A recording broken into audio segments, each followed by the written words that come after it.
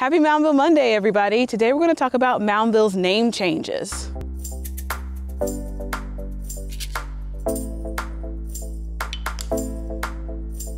Moundville has had as many name changes as P. Diddy or Sean Combs or Puff Daddy or Brother Love. I, I can't keep up. In 1897, the nearby town named Carthage was renamed to Moundville because of the numerous mounds located nearby. In 1933, after the Alabama Museum of Natural History purchased the park land, the site was named to Mound State Park, and then that was established. Then, in 1938, Mound State Park was renamed to Mound State Monument. Thanks for watching, everybody. If you can tell us what year the park became Moundville Archaeological Park, we'll send you a vintage t-shirt. Be the first to comment correctly in the comments below.